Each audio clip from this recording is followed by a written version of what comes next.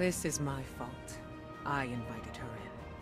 I convinced Zavala that we needed Osiris by our side.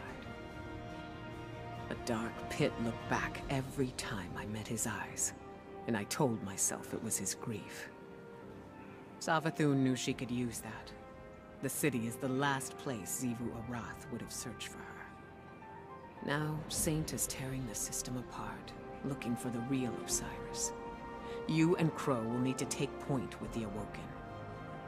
I don't like it, but he wants to help, and he's earned some trust.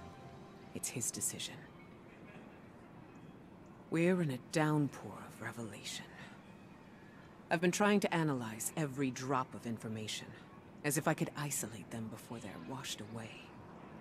There's so much I need to reevaluate. So much I need to do. Interrogate the Witch Queen while we have a captive audience.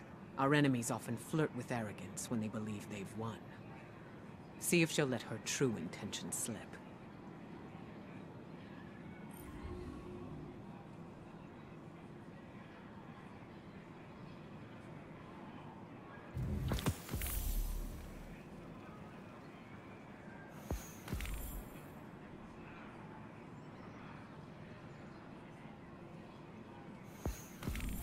Come back safe.